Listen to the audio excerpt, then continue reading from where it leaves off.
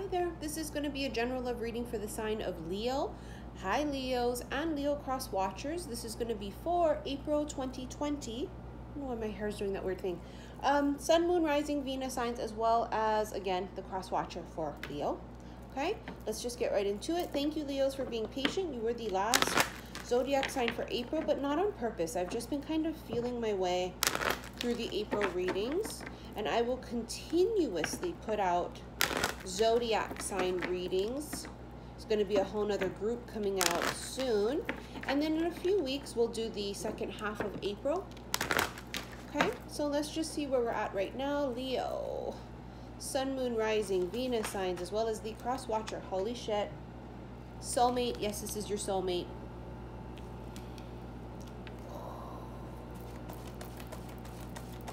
Okay. Um, I mean, we're just going right in for it. Um, very soon. Clearly decide what you want so that it comes to you now. Then you have getting to know each other. As you reveal your innermost selves to each other, your bond deepens. And honeymoon, enjoy the bliss of holiday time together. You know, really, we're all on holiday right now, right? Going through this pandemic, we are being quarantined. So this is for those of you that are like talking on the phone, talking like this, you know, like freaking FaceTime or Skype or whatever. Really getting to know each other on a way deeper level right now. And for those of you that have already met this person, this is where you're at. For some of you, you're actually going to meet a person while in quarantine. Sounds weird, right? But no, when it's meant to happen, it's meant to happen. You keep an open mind. Your soulmate may differ from your usual type and expectation. Now, for those of you, this is someone from the past that's coming back. What are we doing for you guys? Um, you're going to be getting to know you're going to you're going to get to know each other on this way deeper level than you did in the past the Ace of Pentacles. In the past, somebody really wanted to offer something solid to you, but Eight of Wands in reverse. I don't read reversals, but this it was like somebody's communication didn't come through or they stopped themselves. There was no movement on an offer. No movement on a solid offer. This could have been a totally different person than this one, or this could be this one that's coming back in, okay? Take it as it resonates. Eight of Wands could be travel, it's movement, it's also communication. But there was no action taken on this Ace of Pentacles. Ace of Pentacles could be a job offer. It could be something solid like a committed relationship, right? It could be um, moving for me too. Justice, this is Libra energy. This is courtroom issues, legal issues. This is also balance. It's also karmic lessons being learned. Maybe somebody's karmic lesson was to lose you or vice versa. Page of Cups, Oh, I love this card. She's crying. She's like got her eyes closed. This cup in front of her is the one that's illuminated. It's like she knows which cup she wants because she doesn't have it. You know what they say, right? That you really know what you want. You don't know what you got till it's gone. That's this. Unknown. This is the Crystal Visions deck, and the unknown card in this deck means that whatever you want to know about, it's not time for you to know, or it's not meant for you to know. I think you weren't supposed to know that this was for you until you lost it. It was part of the lesson for some of you. You were them, now take it as it resonates. The Eight of Cups, see, walking away. Letting something go. We don't know what we've got till it's gone knowing what I had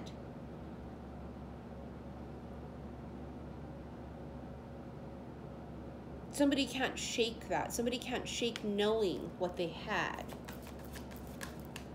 Mm, the King of Swords. A decision is made. This could be Aquarius, Gemini, Libra energy, whether it's male or female, it doesn't matter.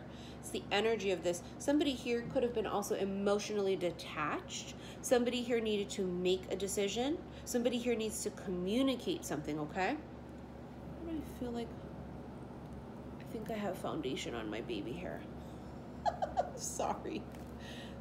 I know. I, I apologize, guys. Listen, we're in quarantine, okay? We're all just kind of like...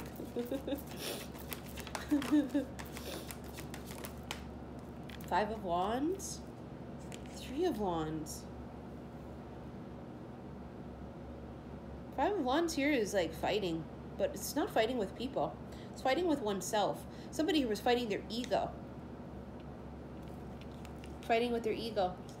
Maybe their ego kept them from reaching out, kept them from being in a relationship. Oh, you we're going to be single right now. I don't need nobody. I'm independent. I'm whatever. That's fighting with the ego. And then you got the Three of Wands here waiting. Could be travel too, but you notice how she's sitting there and she's waiting. She could be waiting for somebody to arrive, is what it is.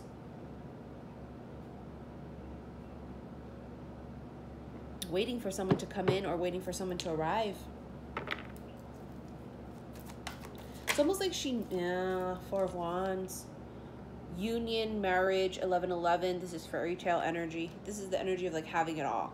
It looks very like it's Prince Charming and it's Princess in the Enchanted Forest, right? It has that energy of it.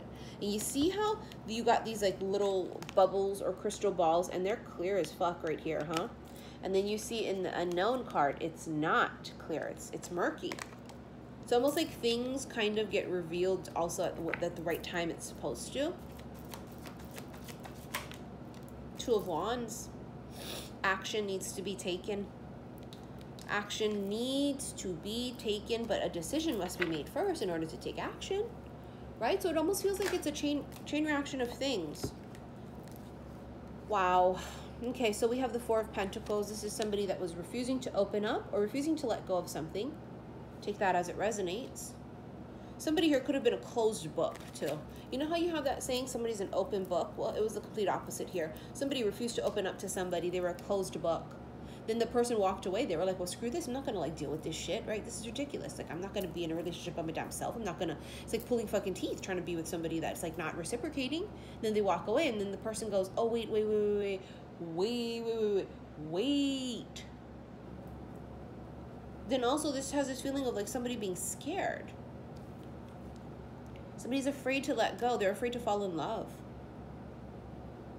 You have here the High Priestess. So this would be two cards here about secrets or hidden things because the High Priestess is the keeper of secrets, huh? Something here was to be kept under wraps. Or like I said, you didn't see it. You did not see it. It was right in front of you. Didn't see it. Don't know what you got till it's gone. It's that energy. And then the world here is completion of something. This is also uh, the alpha, excuse me, this is the omega, which is completion.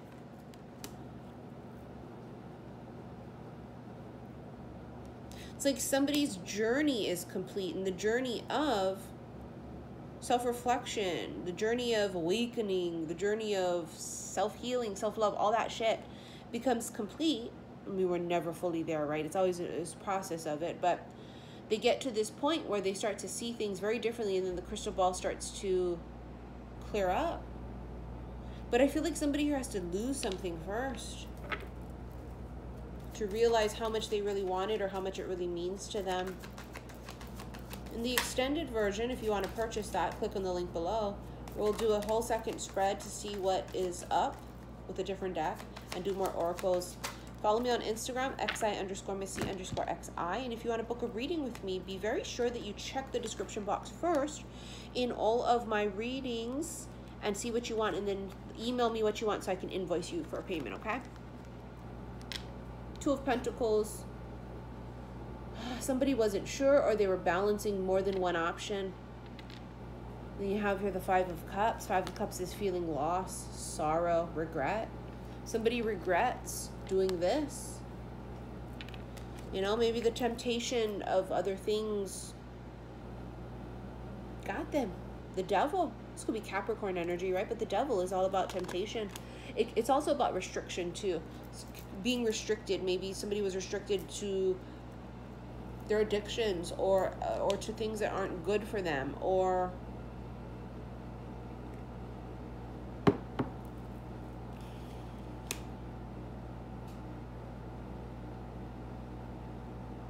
codependencies.